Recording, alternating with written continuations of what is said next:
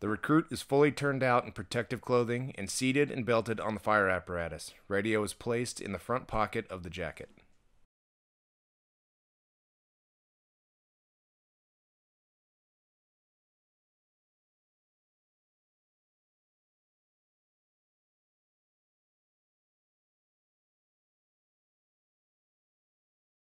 The recruit will wait for the apparatus to come to a complete stop before dismounting. The recruit will look and verbalize looking both ways before stepping off the apparatus.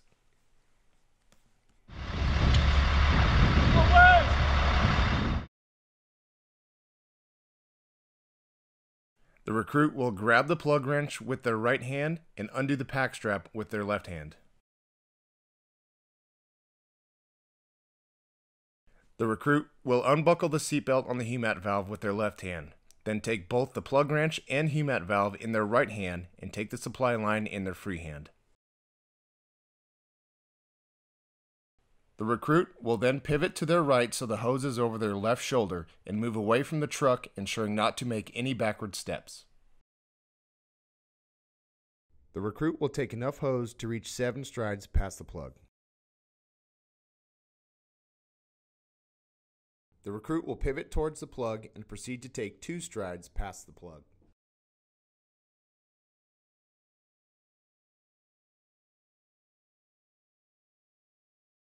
The recruit squats with the HUMAT in front of them, facing the plug with the plug wrench in hand.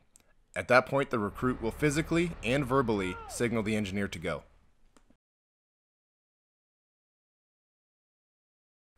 After the first coupling has dropped from the hose bed, the recruit will take the HUMAT in the right hand, move toward the hydrant, and correctly flip the hose over the hydrant, placing the HUMAT out of the work area.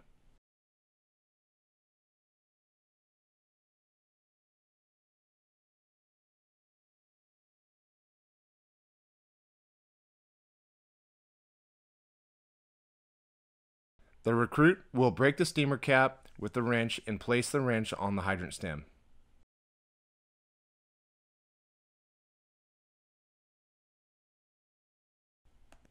The recruit will remove the steamer cap and place the HUMAT valve on the exposed steamer threads.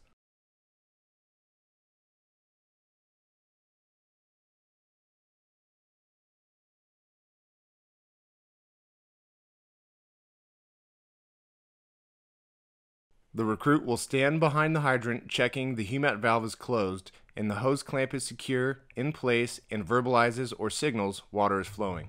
Valve, clamp, water! The recruit must open the hydrant completely. Water must get to the clamp within 1 minute and 15 seconds. Looking for kinks? The recruit must straighten kinks near the hydrant. The recruit will take the hydrant wrench and follow supply line to the apparatus. The recruit will place the hydrant wrench on the back of the apparatus and don their SCBA. The recruit must close the compartment door after.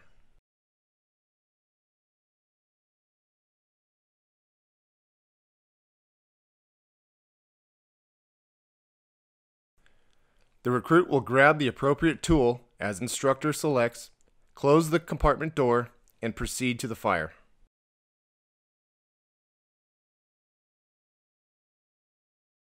The recruit will be ready to work and function in an IDLH environment with all protective clothing correctly on, SCBA bottle fully open and strap secure, no skin exposure or air leaks, radio in the jacket breast pocket.